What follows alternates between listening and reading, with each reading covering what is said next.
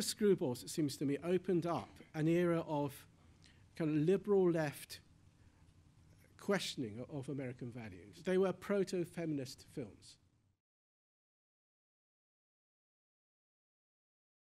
Screwball, people think is, yeah, might mean screwy or something. Actually, the term comes from um, uh, baseball, um, as some of you may know. It, it's the equivalent of a, a spin ball in cricket. And, and it refers to the unexpected trajectory of the storyline, you know, that things ricochet in unexpected, almost surreal ways. And I would argue that you only really got proper screwball comedies um, between 1934 and at a stretch 1942 about an eight-year period in Hollywood history. Kind of Great Depression kind of period. It, yeah, I think the I think this is the crucial thing. They were they were movies that were made, I think, in the middle of a kind of a, Hollywood crisis. You know, a young Hollywood had been churning out entertainment, you know, escapist entertainment. Uh, to America, and suddenly the depression comes along in 1929. I think it's a crisis for them. You know, what, what, what do we do? Do we carry on as though it's not happening? Um, and I think the screwball comedies are an attempt to try and balance important social drama about what's going on while maintaining something of that kind of escapist romantic comedy. I can think of just one British movie, and that's about it, that, that you could more or less say is kind of screwball. Which one is that? Uh, and I think that's Michael Powell and Emeric Pressburger's I Know Where I'm Going. That, ha- that tends to have all those elements, except in a kind of. In, in fact, I Know Where I'm Going is a kind of Scottish Highlands remake of It Happened One Night. Yeah. Um, and, and it's a wonderful movie. But, but that, that's, that to me comes closest That's your one exception on that rule. it, it, I, it still isn't quite screwball, cause it's, but it's, it comes very close to the ingredients for me that, that you have to have to have screwball. Um, you know, for me, screwballs don't have to be ha ha ha funny, you know, but they have to be comedic. Um, they, they, you know, Marx Brothers is not screwball. Ealing comedies are not screwball.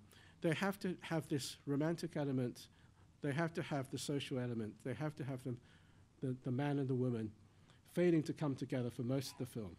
I, I mean, and that leads me actually onto a, very nicely onto my, my next question, really, which is in terms of your own career and your own novels, where perhaps a screwball could fit in. I'm thinking about, like, for example, Remains the Day, which has that, of that social divide, and, and obviously, you know, so the fact that there is a theme in some of your novels about the of the two lovers being kept apart for a lot of the time, if not all the time. You know.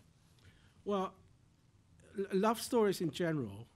Um, well, whether I'm thinking of writing, uh, when I'm trying to write a love story, or if I'm watching a love story or reading a love story, the question that always comes to my mind is know, what keeps the two lovers apart? Um, I think for me, that's the crucial question in, in a love story or any story that has a strong love element in it. If you have in a story fairly superficial shadow things keeping the lovers apart, the chances are you end up with a superficial and shallow story. Yeah, it will still work. If, if lovers are kept apart because of silly coincidences and you know, unfortunate misunderstandings, it will still work at a mechanical level, but it won't be a, you're not going to get very profound.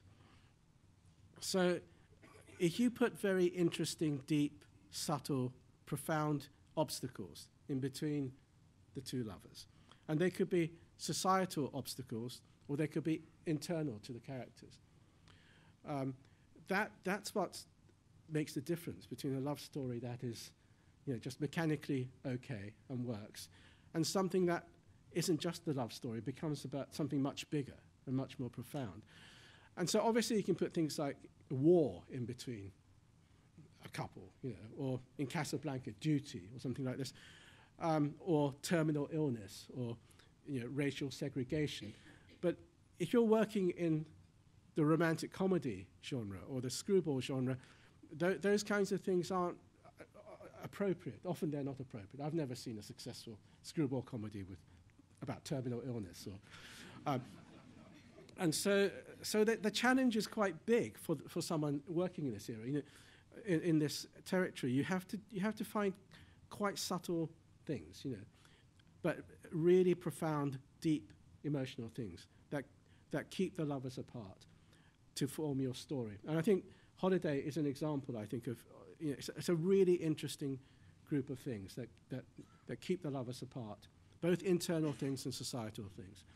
Uh, and many of the best um, screwball comedies do this, I think. This is one of the great paradoxes that as, you know, as feminism made tremendous progress over the decades, Hollywood films are producing female characters that are shallower and shallower and more and more nominal.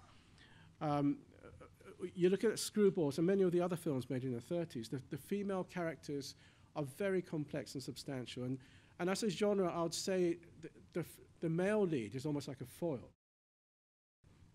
The story tends to be about a, a woman who is often pushing against the boundaries or actually transgressing the boundaries of the society at the time. They may be heiresses, they may be showgirls, uh, they could, they, you know, th- they're secretaries, there could be all kinds of people, but that, that is the characteristic. Um, and so it tends to be about a, a woman's journey. When the Depression ends, you get Philadelphia story. It's a reasserting of conservative values and, and very kind of male patriarchal values. Yeah.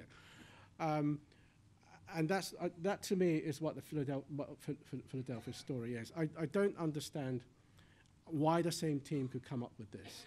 Ironically, the whole thing was engineered by Hepburn herself.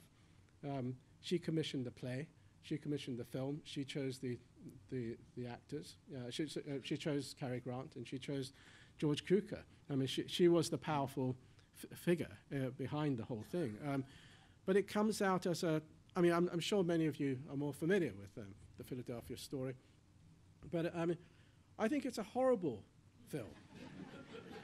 I think Uh, it's a really nasty piece of work.